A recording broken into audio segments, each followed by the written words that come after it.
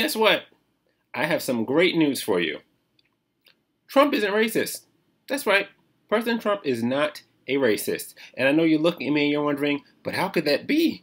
I mean, all the news and all the people and all the stuff on TV and the talking heads have told me that for the past three years that he's a racist. Well, guess what?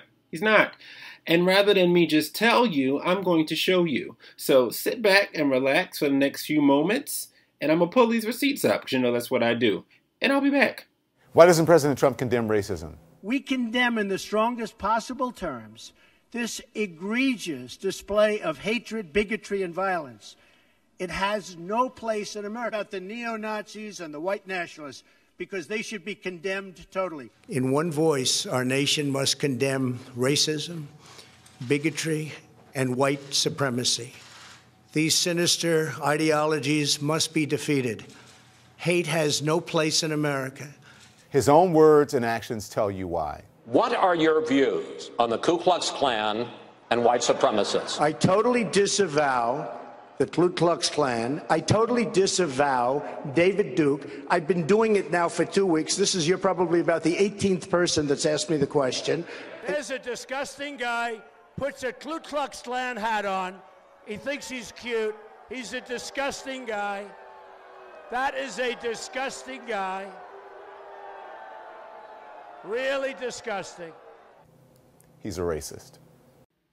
Well, Donald Trump is a white supremacist, he's a really bad one. A white supremacist wouldn't have freed Alice Johnson. And the day that I got the news that President Trump had granted my clemency and given me a second chance in life was the best day of my life.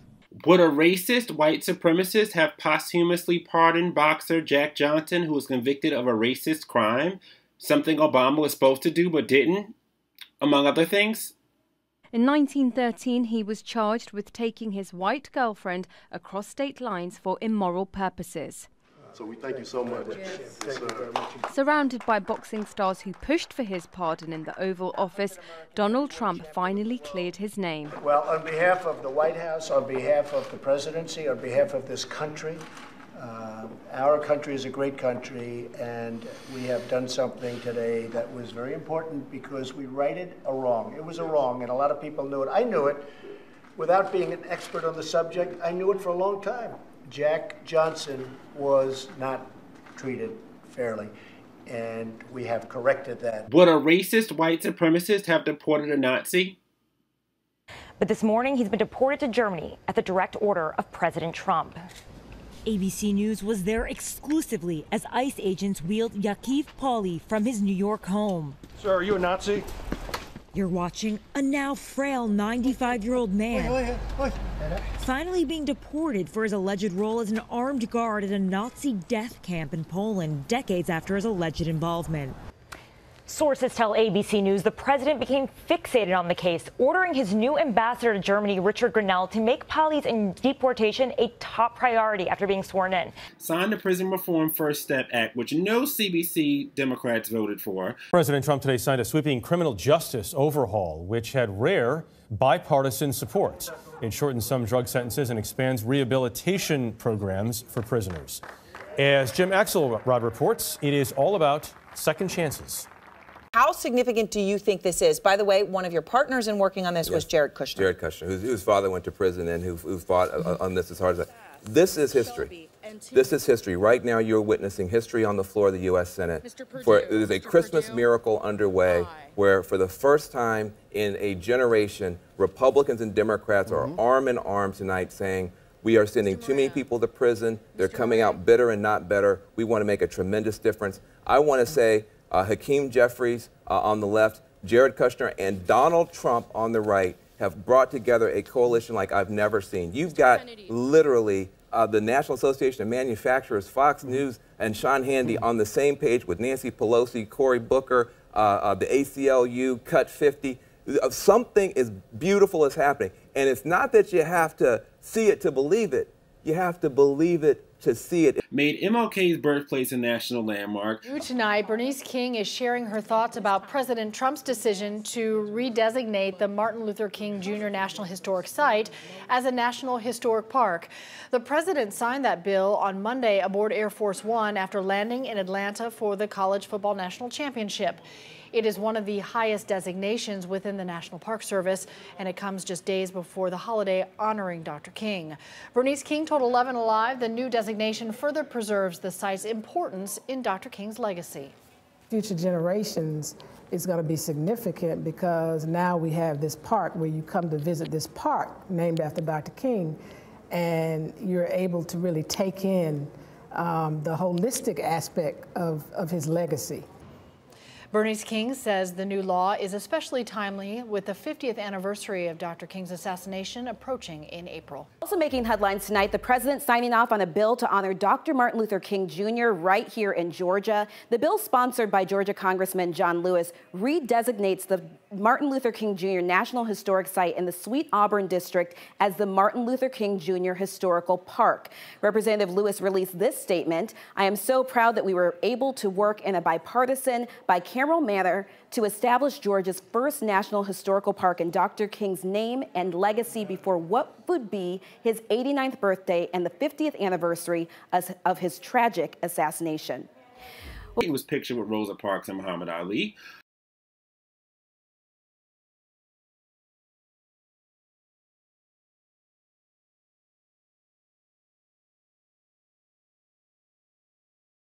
Uh, he wouldn't have sheltered Jennifer Hudson's family in his hotel after the tragedy that happened to her family.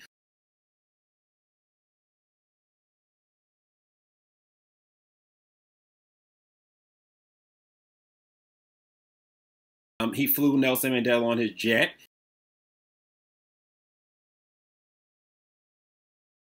He dated a biracial woman.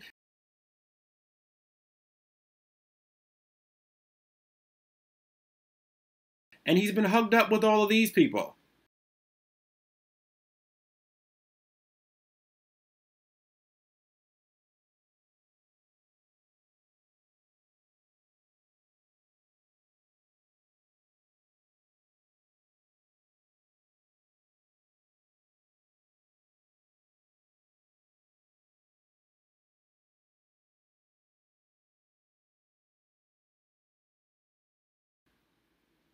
Then you say, but what about Charlottesville? Oh, when he said this? We condemn in the strongest possible terms this egregious display of hatred, bigotry, and violence. It has no place in America. And then I went on from there. Now, here's the thing as to, excuse me, excuse me, take it nice and easy. You had some very bad people in that group, but you also had people that were very fine people on both sides. You had people in that group, excuse me, excuse me, I saw the same pictures as you did. You had people in that group that were there to protest the taking down of, to them, a very, very important statue and the renaming of a park. You're changing history, you're changing culture, and you had people, and I'm not talking about the neo Nazis and the white nationalists, because they should be condemned totally. But you had many people in that group other than neo Nazis and white nationalists, okay? And the press has treated them absolutely unfairly. Now, in the other group also, you had some fine people, but you also had troublemakers, and you see them come with, the with the black outfits and with the helmets and with the baseball bats. You, got a, you had a lot of bad you had a lot of bad people in the other group too. What about S-hole countries? Oh, you mean what a Democrat senator said he said about S-hole countries with no actual proof to back it up. Besides, any country that would kill me just because I'm gay is an S-hole in my book.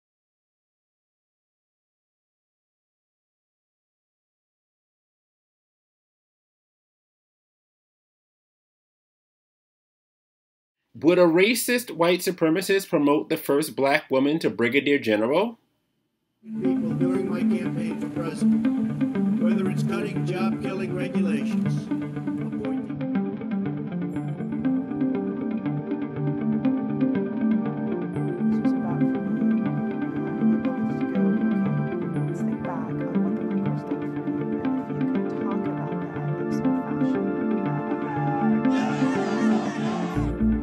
a racist white supremacist do an impromptu job interview of a black woman at a press conference?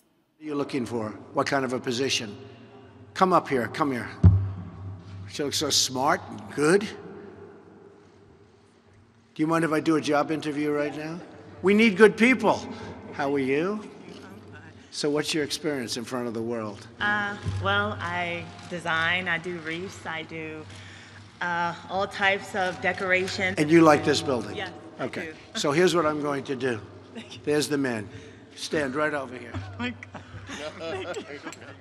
If we can make a good deal in the salary, she's going to probably have a job, okay? All right, good. Have a good time. Thank you, sweetie. Thank you. Good. Thank you. So nice. Really nice. I felt good about her. I tell you what, I looked at her. I said, she, you know, I have gut instinct, okay? And we're allowed to have that. And I looked at her and she asked a question, and it was a very positive question. She looks like she's got a great look, and she's, look at that with the tears. How nice. She's just a good, she just seemed like a good person to me.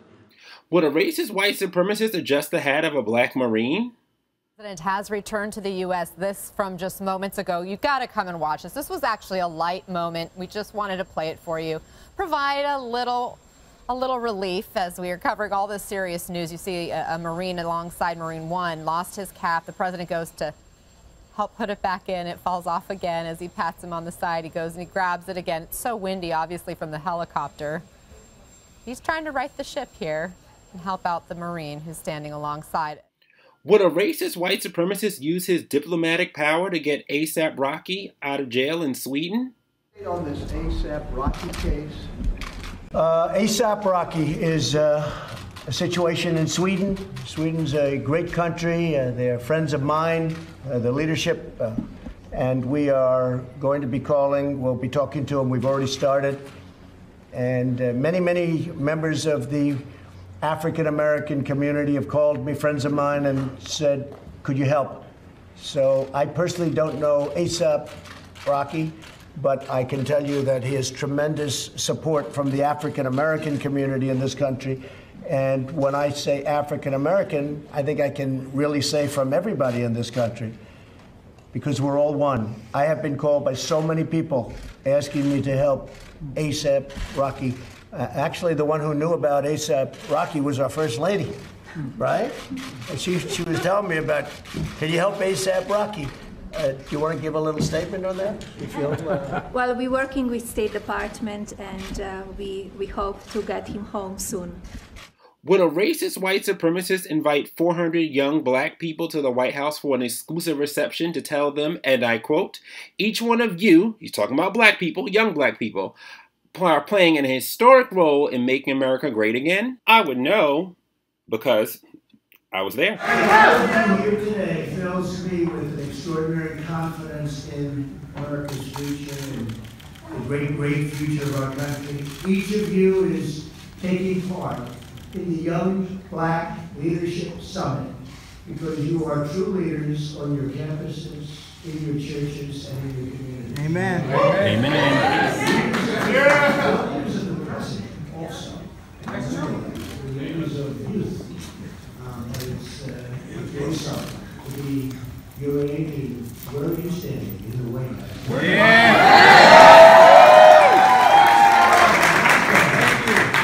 And each of you is playing a historic role in making America great again.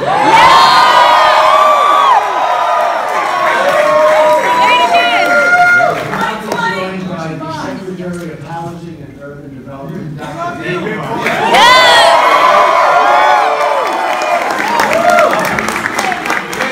This guy was so tough.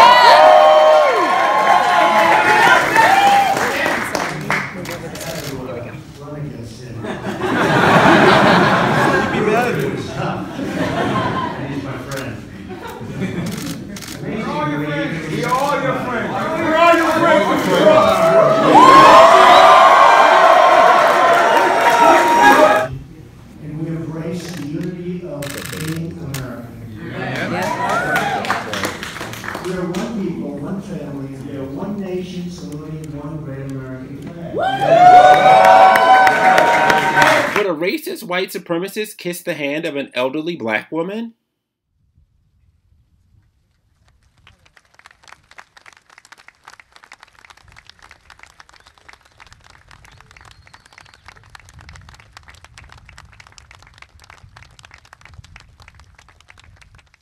We are honored to be joined today by the family of Detective Miosotis Familia.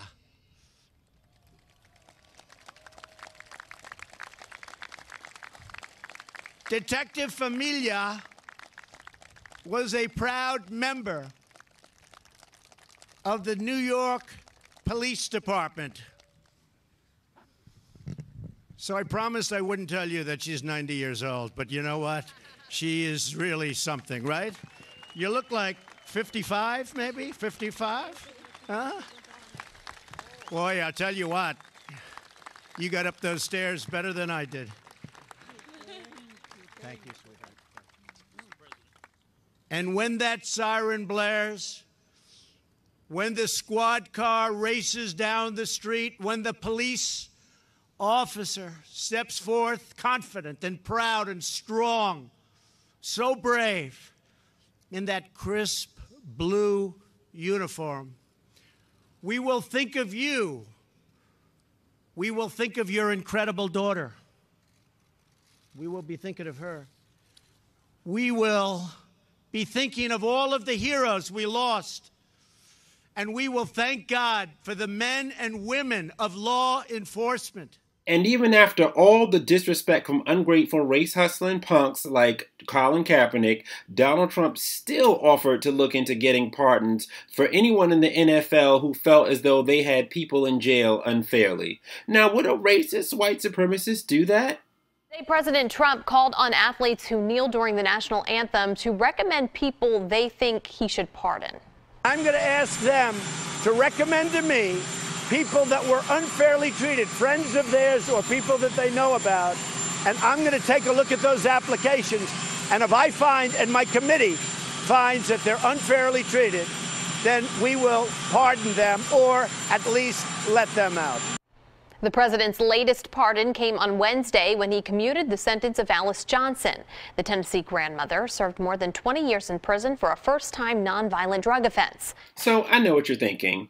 Trump's doing these things, you know, so he can look good for a photo op, as they say, to get the black vote. But let me tell you something. Donald Trump and Republicans actually don't need the black vote. He didn't need the black vote in 2016, and he really doesn't need it in 2020. I would say vast majority, probably 90% and even higher of black people in this country live in deep blue urban districts that a Republican really wouldn't win anyway.